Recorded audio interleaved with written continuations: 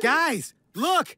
Yes? Anyway, now my luck has shifted. I've been offered a new reality show where I do ride alongs with the FBI. It's called Ugly Sonic, Uglier Crimes. 遗忘，遗忘，都遗忘去年的烦恼和姑娘。魔幻，魔幻，都魔幻，今年的姑娘更漂亮。